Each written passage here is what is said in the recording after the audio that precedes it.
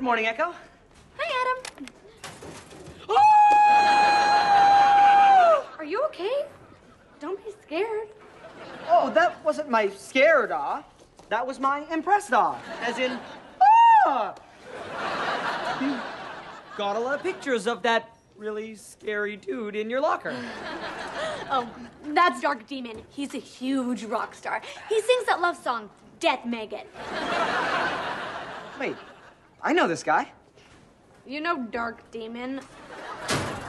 Yeah, we were at the university together. His real name's not Dark Demon. It's Mark. Mark Demon.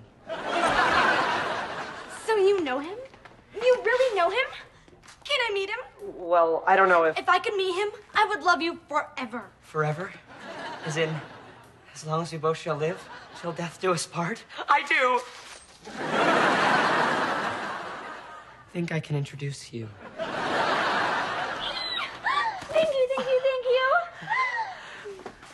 But seriously, all those pictures in your locker, isn't that a little obsessive?